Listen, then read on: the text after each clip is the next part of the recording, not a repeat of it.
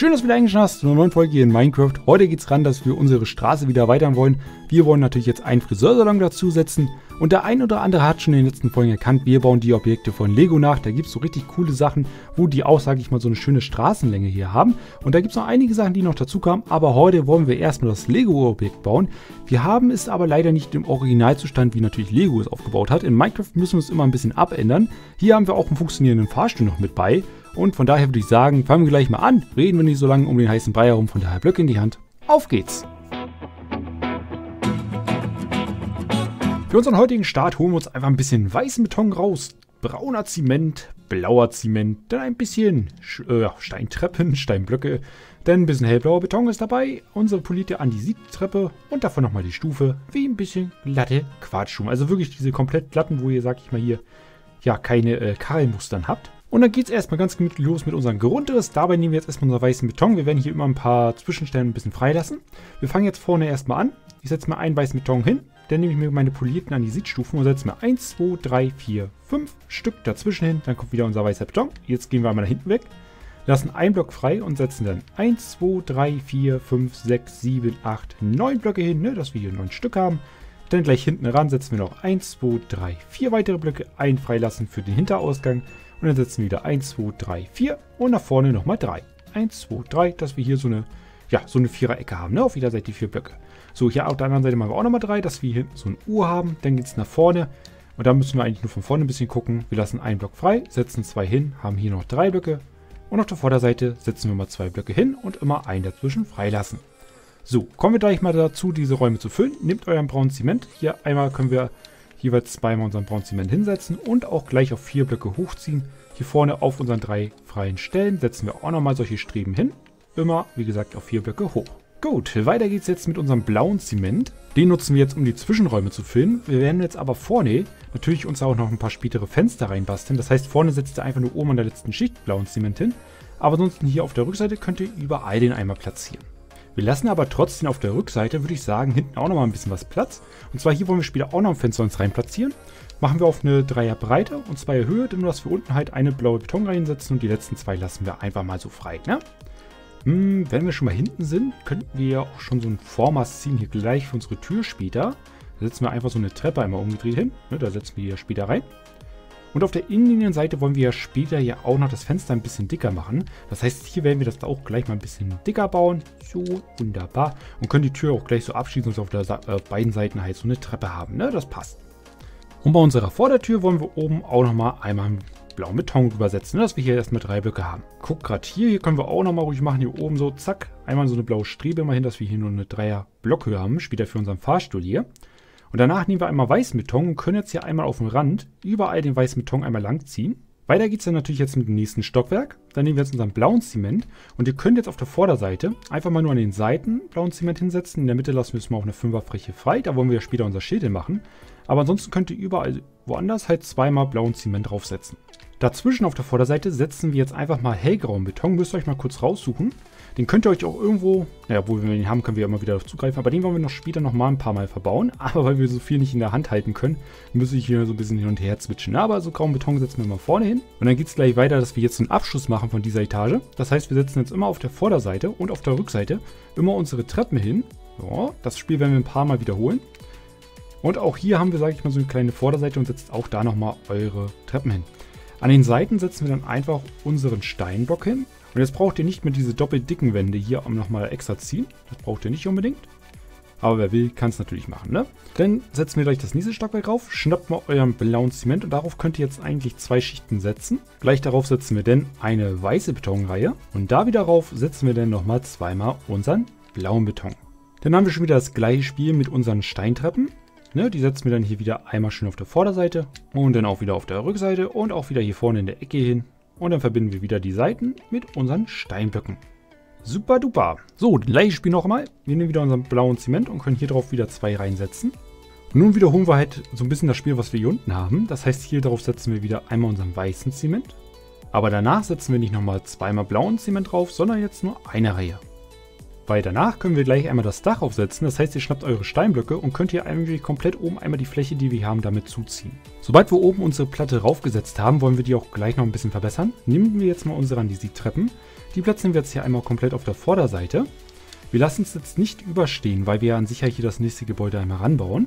Von daher nehmen wir unsere Stufen und setzen die jetzt hier einmal glatt nach hinten weg, aber lassen die auf der Rückseite einmal überstehen.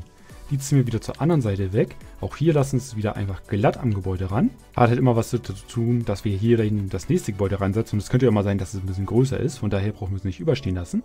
Aber nach vorne weg lassen wir es einmal überstehen. Und wieder hier zur Seite, zack, gehen wir hier einmal glatt ran. Ne? So, dann gucken wir gleich komplett einmal auf der Vorderseite bei unseren Treppen. Und zwar platzieren wir jetzt immer im Wechsel hier einmal an die Seed-Block. So, und dazwischen lassen wir es einmal frei. Und auf den Blöcken setzt ihr dann nochmal eine Stufenreihe lang. Super. So, sobald wir das jetzt oben fertig haben, wollen wir jetzt dazu kommen, uns natürlich auch noch Fenster einzubauen. Wir fangen am besten immer einfach mal auf der ersten Etage hier vorne an. Da würde ich sagen, passt ja eigentlich super so ein 2x3 Fenster rein. So zwei Blöcke Platz, das sind noch so ein 1x3 Fenster, das sollte auch noch so passen. Und das Spiel machen wir gleich noch einmal darüber, genau das gleiche Maß, ne? ein 1x3 und ein 2x3. Unten setzen wir jeweils immer unsere Quarzstufen hin und oben unsere polierten Andesit-Stufen. Ne? Das hebt sich so alles hier so ein bisschen ab. Sobald wir das haben, wechseln wir gleich hier einmal zur Seite und wollen hier noch zwei weitere Balkons bauen. Sollte ja auch perfekt aufgehen, dass wir an den Seiten jeweils noch zwei Blöcke haben. Das heißt, wir machen hier so ein 2x3-Ding.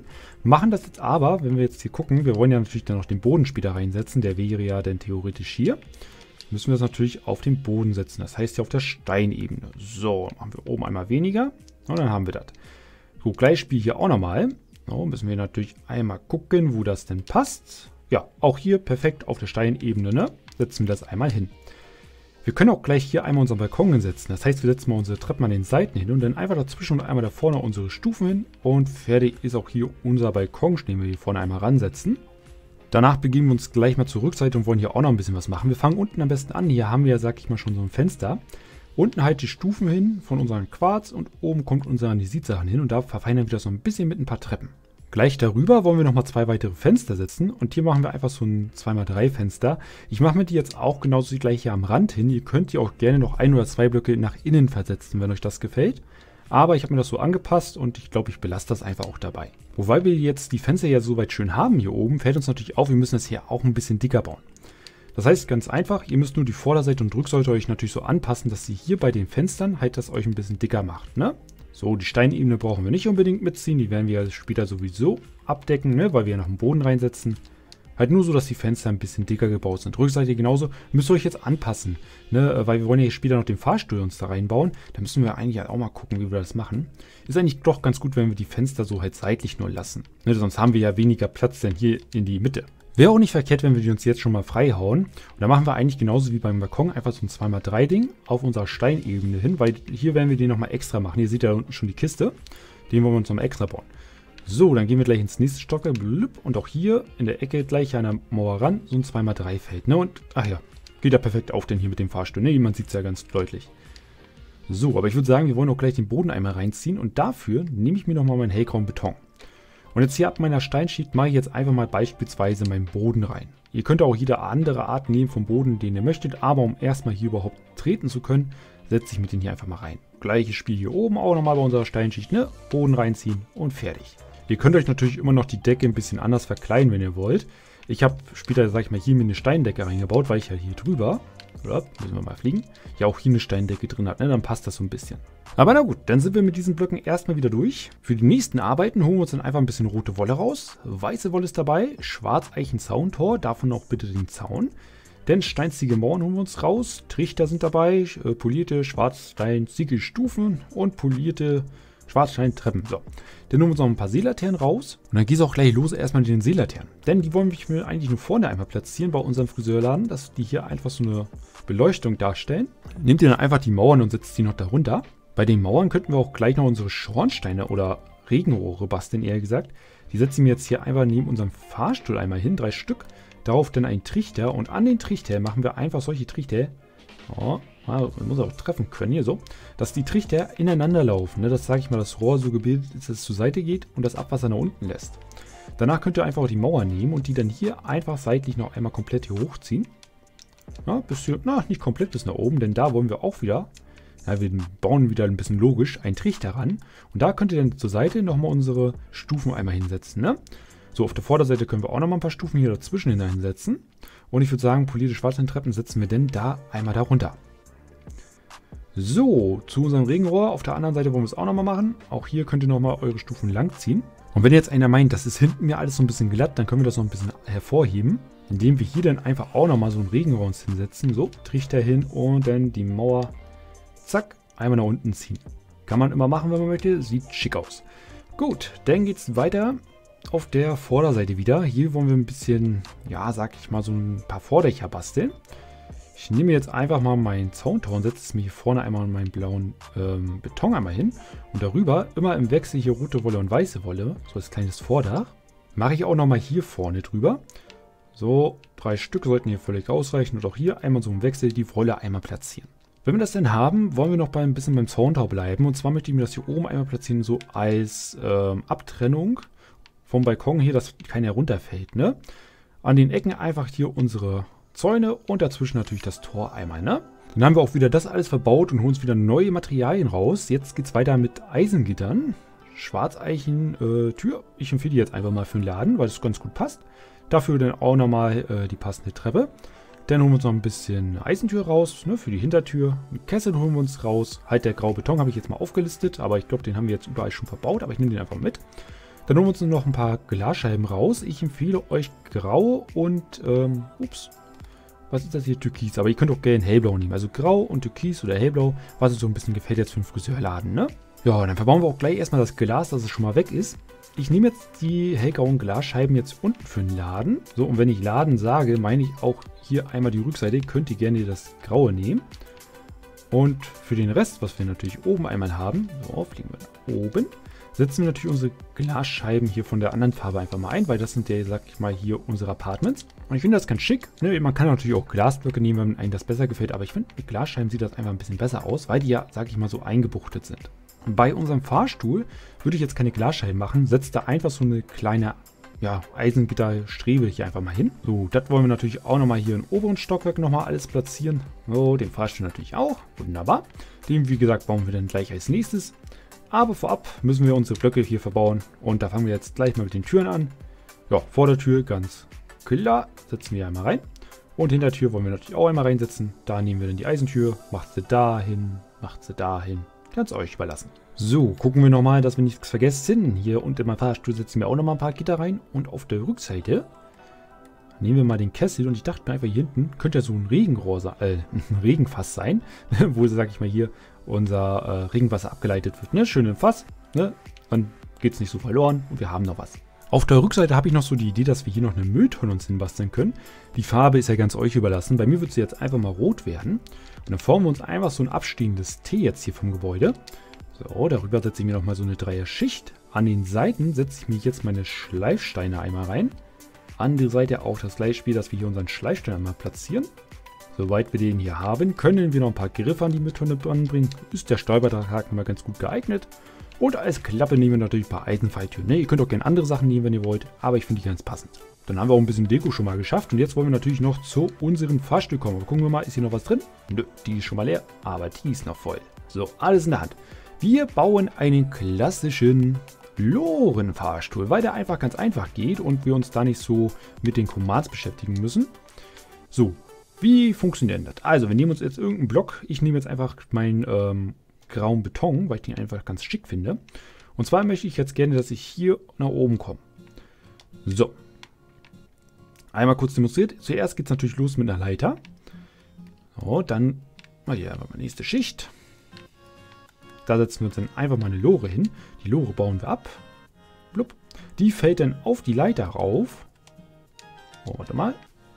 So, fällt auf die Leiter rauf und wir können dann so nach oben kommen. Und so müssen wir das, ja gut, müssen wir dann immer den nächsten Ding machen. So, hier bräuchten wir eigentlich nur zwei. Das heißt, ich mache meine Leiter hier hin. Und darüber dann gleich hier einmal die Lore, die fällt dann rauf. Die Lore ist dann auf der Höhe von unserer Etage. Können wir gleich mal ausprobieren, ob das alles funktioniert. Zack, zack. Ja, wir sitzen da drin. Steigen dann immer auf die Leiter rauf und sind dann oben auf unserer Etage. Ihr könnt immer noch gerne diesen Übergang hier nochmal ein bisschen austauschen. Durch äh, Treppen. Ne, dass dann das hier so eine Schiene ist für, sag ich mal, das Gitter. Ne, dass die dann auf und zu geht. Ja, so können wir dann hier wieder nach oben kommen. Ne? Ihr macht dann hier wieder Decke rein, Leiter hin. Ne? Und so formt euch das dann nach oben. Ich glaube, hier müssen wir dann zwei Loren hintereinander machen, damit das passt. Oder wir setzen es ein bisschen höher an. Ich glaube, das geht auch. Ja, dann setzen wir höher an. So, ja. Siehst du, da brauchen wir nur drei Loren. Ne, wenn ich jetzt richtig gezählt habe. Eins, zwei, drei. Ja, wunderbar, passt. Und auch hier tauschen wir es nochmal aus. Schick, schick, schick. So, dann haben wir das alles schon mal verbaut. Muss ich selber noch kurz überlegen, ob uns noch irgendwas fehlt hier. Aber ich glaube nicht. Habe ich dann auch nochmal gemacht, ne, mit den Treppen. Und dann geht es eigentlich nur dran, sich das ein bisschen zu gestalten. Obwohl eine Sache fällt mir noch auf, und zwar, ihr könnt auch, sag ich mal, hier das Rohr ein bisschen abdecken. Stufen wären ein bisschen zu hart dafür. Da nehmen wir einfach ein bisschen grauer Teppich. Und dann deckt ihr das da einfach mal ab, ne? Dass das natürlich geschlossen ist, das Rohr. Aber ansonsten wäre das hier unser Friseurladen. Gut, die Schrift müssen wir natürlich auch noch vorne einmal ransetzen. Das Wichtigste dürfen wir natürlich nicht vergessen. Das erkennt ja keiner, was hier überhaupt ist für ein Laden. So, einfach mal H auf Englisch, ne, Herr, für unseren Friseursalon mit Ausrufezeichen, dass jeder das weiß. Und falls du natürlich jetzt nicht weißt, wie man sich Buchstaben auf Banners craftet, zur Sicherheit ist oben in der Infobox nochmal ein Video verlinkt dass du das ganze Alphabet beherrschst. Gut, aber ansonsten gucken wir uns natürlich jetzt nochmal das fertige Häuschen an, mit noch ein paar Feinheiten dran. Da fliegen wir natürlich einmal rüber zu unserem richtigen Friseursalon. Bevor wir jetzt überhaupt reingucken, gehen wir nochmal einmal kurz aufs Dach. Denn da könnt ihr natürlich auch noch ein bisschen was machen, noch so ein paar Lüftungsanlagen, so ganz einfache Dinger, irgendwas als Dekomäßiges hinbauen, dass das nicht komplett kahl ist. Ne? Weil kahl sieht immer doof aus Gut, jetzt sage ich mal hier so bei denen kann man es ruhig lassen, aber ansonsten so, wenn ihr da so eine Einbuchtung habt, ne, und jetzt hier auch gesagt so eine kleine Einbuchtung, könnt ihr da gerne irgendwelche Deko-Sachen noch platzieren. Ihr seht ja, ich habe es ja auch ganz einfach hier gemacht. Hauptsache da ist was drauf. Gut, dann fangen wir am besten jetzt einmal unten mit unserer Tour an. Die Anne wartet ja auch schon.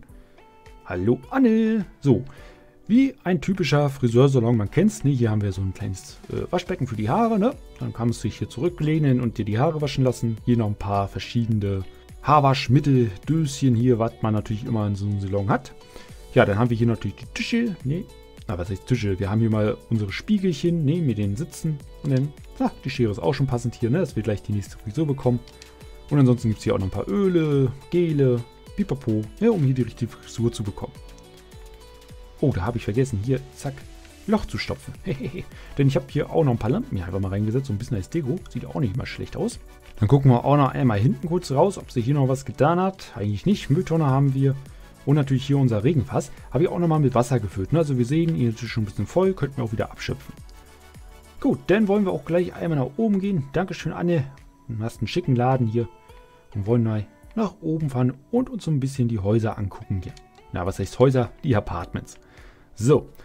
Ja, man kann in einem einfachen Stil sich hier eigentlich alles einrichten. Man kommt halt rein, ne, hier so ein bisschen der Flurbereich, kannst die Jacke aufhängen. Dann haben wir gleich hier unsere offene Küche, Schlafzimmer. Man könnte auch das Bett dann auch gleich nehmen als Couch. Na, hast du gleich hier einen Tisch davor und fertig. Ne, man kann natürlich auch noch gerne Lampen reinbauen, wenn man möchte. Habe ich jetzt einfach mal hier drauf verzichtet, weil es an sich eigentlich hell genug ist. Na, auf dem Balkon kannst du auch noch eine Pflanze dir platzieren, wenn du möchtest. Und dann geht es auch gleich hier wieder einmal zack nach oben. Und hier ist eigentlich, ja, identisches Maß. Ne? Man kommt mit dem Fahrstuhl hoch, ja, hast du Flur, Küche und Wohnzimmer und Schlafzimmer in einem, ne? Alles drin, was man braucht. Und das wäre dann unser Friseursalon hier in der neuen Straße. Wir gucken mal, was wir als nächstes bauen. Ich habe schon so eine Idee, was ich mir in die Ecke baue, aber muss man ja auch erstmal machen, ne? Gut, aber ansonsten bedanke ich mich wie immer fürs Zusehen. Wünsche dir viel Spaß dabei, jetzt deinen Friseursalon natürlich auch zu bauen. Vielleicht hast du auch so ein paar Ideen jetzt gekriegt, wie man ihn einrichten kann. Aber ansonsten bedanke ich mich wie immer fürs Zusehen. Wünsche dir viel Spaß beim Nachbauen und dann hören wir oder sehen uns zur nächsten Folge wieder. Also haust rein und tschüss.